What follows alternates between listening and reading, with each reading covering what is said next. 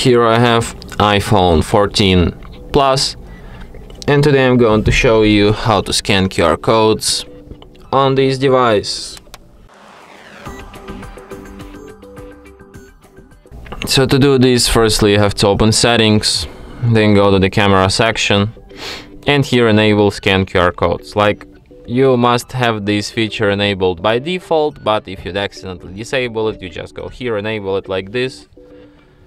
And now we can scan QR codes just with our camera. No, no, no need, no uh, other uh, applications needed. You just like use your camera, and as you can see it, it instantly shows you uh, the web page which is being encoded into this QR code. So just tap on it and it will be opened in Safari or any other of your default browsers.